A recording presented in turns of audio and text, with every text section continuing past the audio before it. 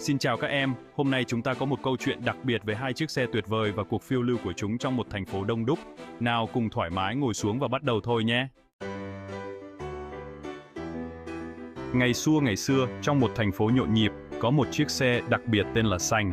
Xanh không giống những chiếc xe khác, ô không, Xanh là một chiếc xe điện không cần xăng. Nó chạy bằng điện và thậm chí lấy năng lượng từ mặt trời, tuyệt vời chưa?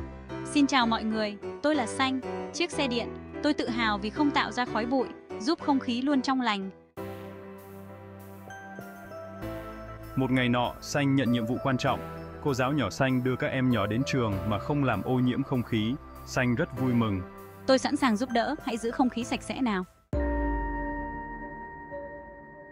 Trong hành trình của mình, Xanh gặp một người bạn, Đổ, một chiếc xe xăng. Đổ luôn cảm thấy buồn vì mỗi khi chạy là làm ra khói. Xin chào Xanh, tôi ước gì không tạo ra nhiều khói bụi làm bạn không khí. Xanh thấy Đỗ buồn và muốn giúp đỡ, nên nảy ra ý tưởng.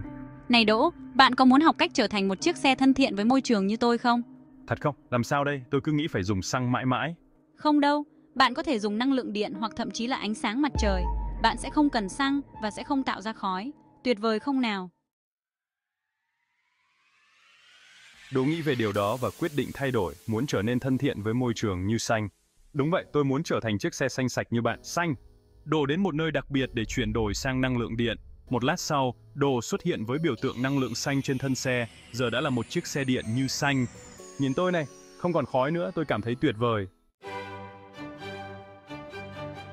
Từ ngày đó, Xanh và Đồ làm việc cùng nhau, đưa các em nhỏ đến trường và giữ không khí luôn sạch sẽ.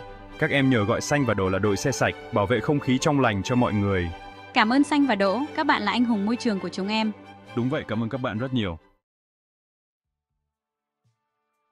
Và đó là kết thúc câu chuyện. Xanh và Đồ đã cho chúng ta thấy rằng bằng cách chọn cách sống xanh, chúng ta có thể giữ không khí trong lành và giúp môi trường trở nên tốt đẹp hơn.